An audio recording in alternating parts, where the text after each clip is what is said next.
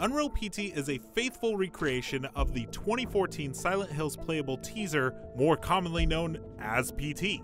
While the remake, made by game developer Radius Gordello, is almost a one to one copy of the PT so many of us know and love, there's one major difference. When Unreal PT ends, you no longer get the awesome Norman Reedus reveal at the end. Well, we did some digging, and it turns out that beautiful man still made it into the game but you'll need a VR headset to find him.